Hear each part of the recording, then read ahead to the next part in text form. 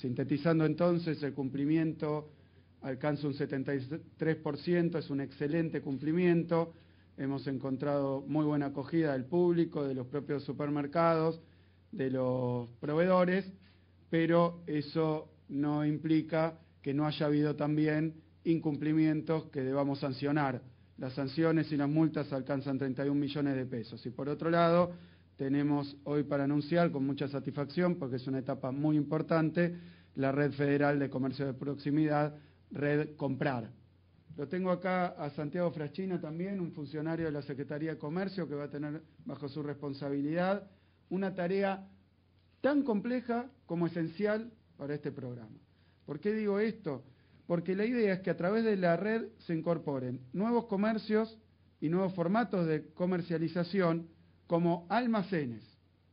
mini mercados, autoservicios, ferias francas, mercados concentradores, pequeños productores,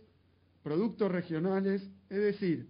toda aquella parte invisible, digo invisible porque es más fácil juntarse con ASU que representa 1.300 supermercados de metros y metros, esos enormes hipermercados que todos nosotros conocemos, pero que sabemos bien que no llega hasta el último eslabón de la cadena de comercio y por tanto no le llega muchas veces en el barrio, en la barriada, en zonas más alejadas de los centros urbanos, no le llega a la gente. Y esa es nuestra preocupación,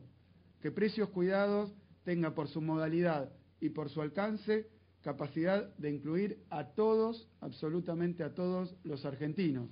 Es una tarea que tenemos que hacer nosotros, pero es una tarea que requiere de la participación de la gente,